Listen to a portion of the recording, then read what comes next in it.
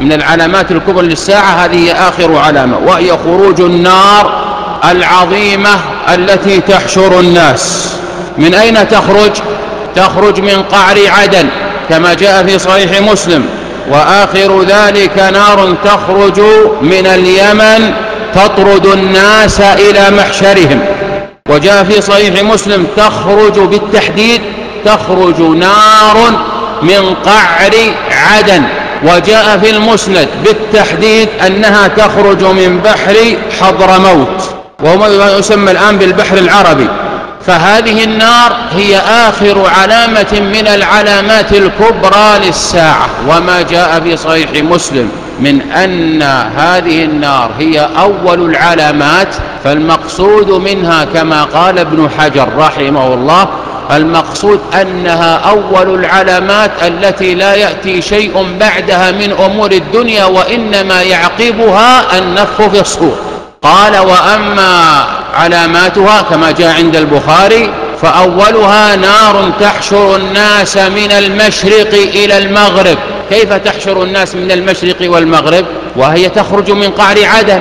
قال ابن حجر رحمه الله في الفتح قال إنها تخرج من قعر عدن من بحر حضرموت ثم ينتشر شرها في جميع أقطار الأرض. فليس المقصود المشرق والمغرب وإنما المقصود أنها تعم الأرض كلها. ليس المقصود خصوص المشرق والمغرب وإنما المقصود أنها تعم الأرض كلها. أو أنها التي تخرج من المشرق المقصود منها الفتن لأن الفتن مثل النار. إذا اشتعلت اشتعلت مثل النار. فتكون النار التي نحن بصيد الحديث عنها نار حقيقية تحشر الناس إلى المحشر وتخرج من قعر عدن. أما هذه التي عند البخاري فيكون المقصود منها الفتن التي إذا انتشرت فإنها تنتشر كانتشار النار.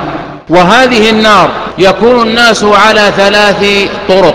جاء في الصحيحين من حديث أبي هريرة رضي الله عنه أن الرسول صلى الله عليه وآله وسلم قال يحشر الناس على ثلاث طرائق راغبين وراهبين واثنان على بعير وثلاثة على بعير وأربعة على بعير وعشرة على بعير وتحشر بقيتهم النار.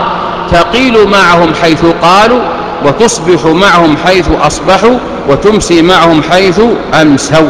وجاء عند الطبراني ورواته ثقات كما في مجمع الزوائد أنها تسوقهم أن النار تسوق الناس كسوق الجمل الكثير.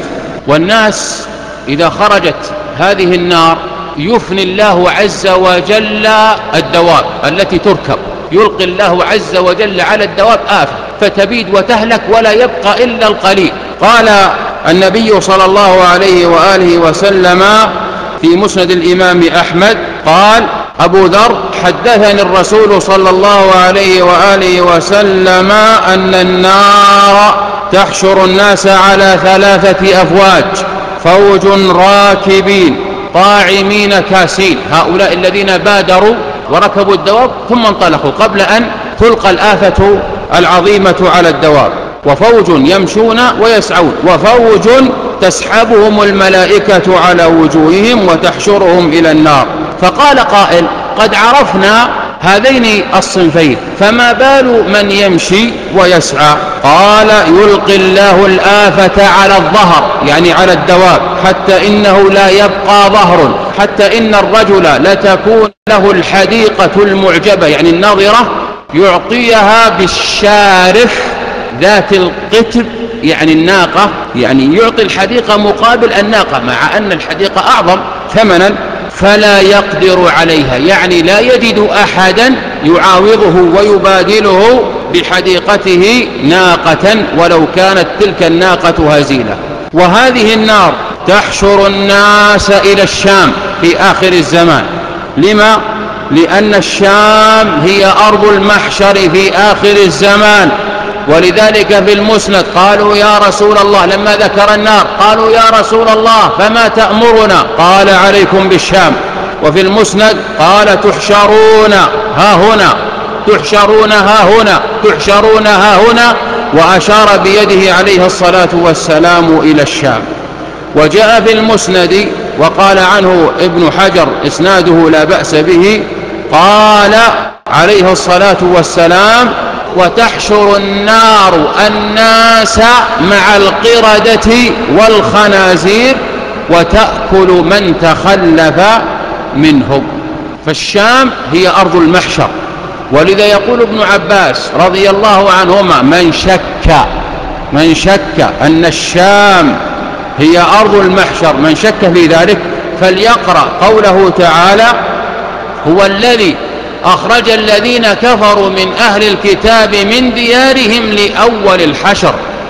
فالنبي صلى الله عليه وآله وسلم أجلى يهود أجلى يهود بني النضير من المدينة إلى الشام.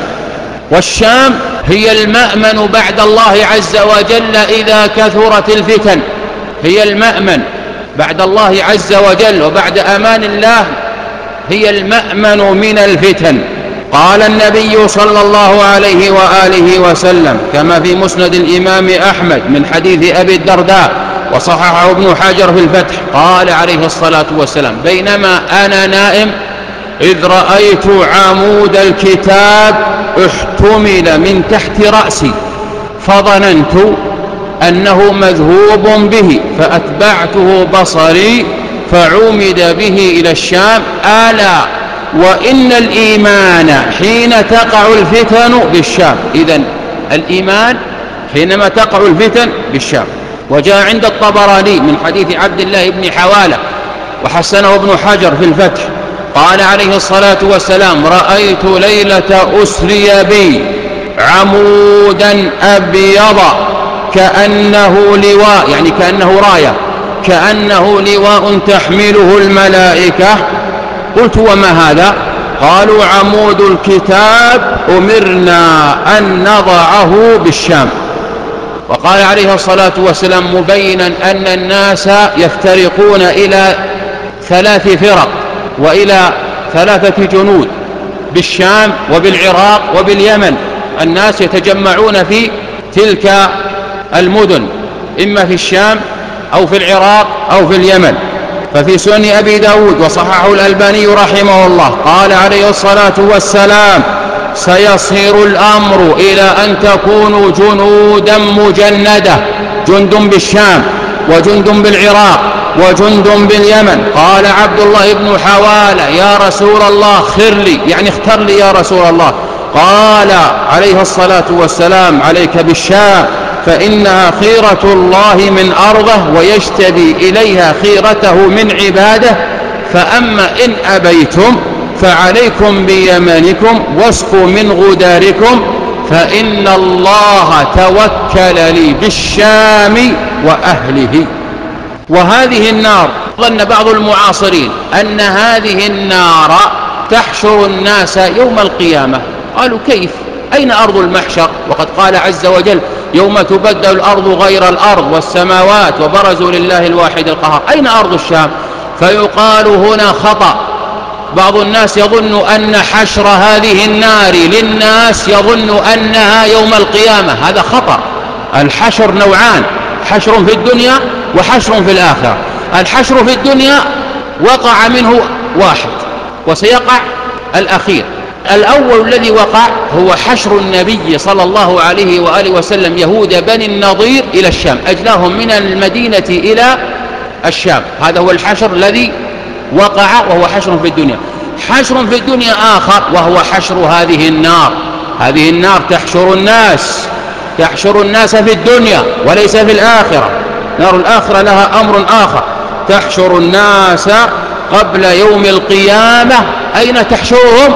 كما قال جمهور العلماء ونقل ذلك ابن كثير وابن حجر والقرطبي وغيرهم رحمهم الله تحشر هذه النار قبل يوم القيامة الناس إلى الشام.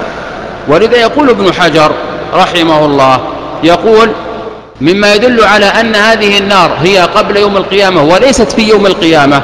قال رحمه الله إن الناس يحشرون يوم القيامة حفاة عراة غرلا فرادا فيقول ومن أين للذين يبعثون بعد الموت وهم حفاة عراة؟ من أين لهم حدائق يعتاضون بها لأخذ الإبل؟ يقول من أين لهم؟